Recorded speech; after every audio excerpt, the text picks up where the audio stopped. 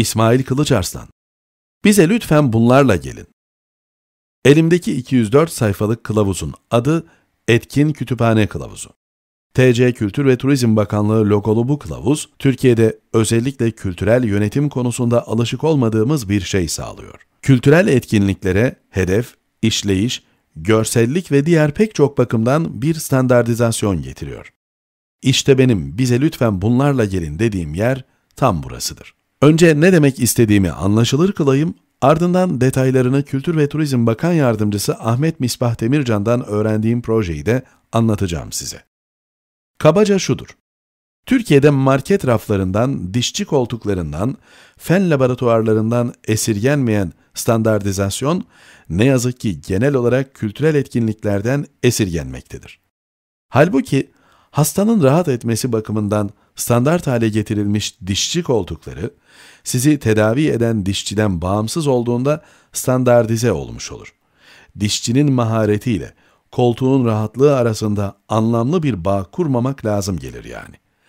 Oysa Türkiye'de herhangi bir kültürel etkinlik onu yapanın ilgisi, bilgisi, seviyesiyle orantılıdır. Ne ki bu kaderimiz değildir. Dahası kaderimiz olmamalıdır. Etkinliği düzenleyen isimden bağımsız olarak bir kültürel etkinlik standartizasyonu geliştirebilmek başarınızın yarısından fazlasını garanti altına almanız sonucunu doğurur.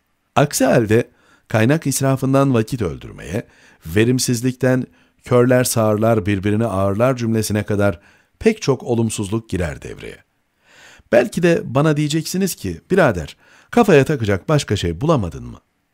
Ben de diyeceğim ki, evet, kafaya takacak bundan daha önemli bir şey bulamadım. Zira içerikli ve standartize edilmiş bir kültür yönetiminin tek gerçek kalkınma hamlesi olduğunu bilecek kadar uzun yaşadım. Adı geçen 204 sayfalık kılavuzda yazılı etkin kütüphane konseptini hayata geçirebilmek için kelimenin gerçek manasıyla okuma yazma bilmeniz yeterlidir.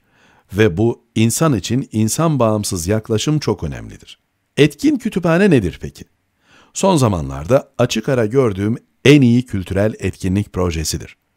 Projenin mimarı Ahmet Misbah Demircan'ın ifadesiyle söyleyecek olursam, sözlü kültürün asıl dolaşıma girmesi gereken kütüphanelerin iade-i itibar projesi bu. Proje kapsamında Türkiye'de Kültür Bakanlığı'na bağlı her bir kütüphane aynı zamanda bir kültür merkezi haline geliyor. Yani 1500'ü aşkın yeni kültür merkezimiz oluyor. Her bir kütüphanede edebiyattan sağlığa, spordan aileye, sağlıktan teknolojiye toplam 9 ana başlıkta yüzlerce standartize edilmiş etkinlik hayata geçecek. Kılavuzun önemi de tam burada devreye giriyor işte. Kendisine hedef olarak konulmuş kültürel etkinlikleri hayata geçirmeye çalışan kütüphane görevlisi, bu kılavuzda afiş, broşür, yönlendirme levhası gibi tüm tasarımları buluyor. Dahası, diyelim sanat ana başlığından seçtiği bir fotoğraf sergisi etkinliğinin hedef kitlesini, amacını, mekanını, etkinliğin düzenleme aşamalarını, nasıl duyurulacağını, nasıl uygulanacağını, hangi malzemelerin lazım olacağını, hangi kazanımları elde etmeyi hedefleyeceğini, hangi sosyal paydaşlarla işbirliği yapabileceğini öğrenmiş oluyor. Dahası etkinlik bittikten sonra etkinliğin tüm çıktılarını nasıl arşivleyeceğini de buluyor kılavuzda. Benim standartizasyon dediğim budur işte. Böylesi iyi tanımlanmış bir etkinlikler serisinin insana bağlı başarısızlık yaşamasının riski minimal düzeyde kalır. Aynı zamanda da kütüphane sorumlularımız birinci sınıf kültürel etkinlik yöneticisine de dönüşmüş olurlar kısa zaman içerisinde.